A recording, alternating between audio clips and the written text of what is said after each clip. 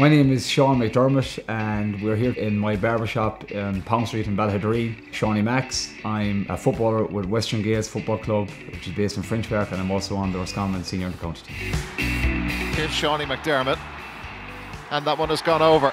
That's a nice score. I graduated with an honours degree in quantity surveying, something I always had an interest in. My father's a, a carpenter himself and a builder, so it was kind of something I was always interested in. Uh, left college in 2007, I suppose was the height of the boom at the time. Within a year, the crash came. I suppose things turned, and I probably didn't know really what I wanted to do. But I had a sister who was a hairdresser, and she was always on to me about barbering. I wondered would I be interested in barbering. It was always something I had an interest in, but didn't know whether I could make a career out of it. I went and done a City and Guilds course in Castlebar to the Mayo College of Hairdressing. Uh, left there then and started as a trainee barber in Sligo, Charlie's on the Mall in Sligo.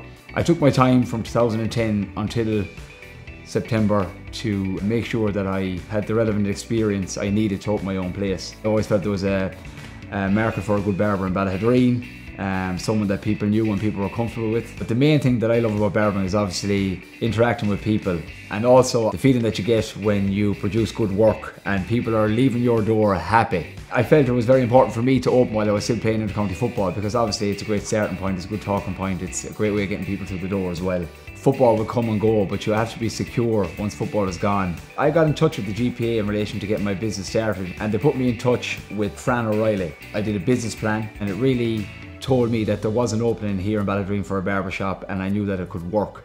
So I guess that's the advice I could give anyone is to make sure and do your business plan, do your research.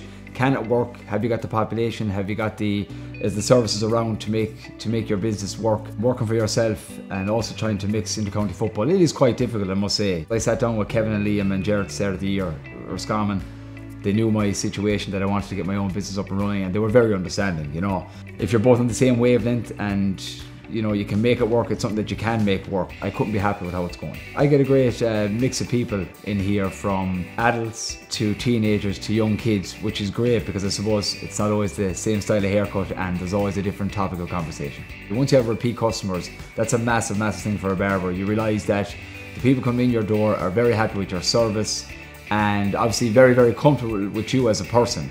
And that's something that all barbers strive for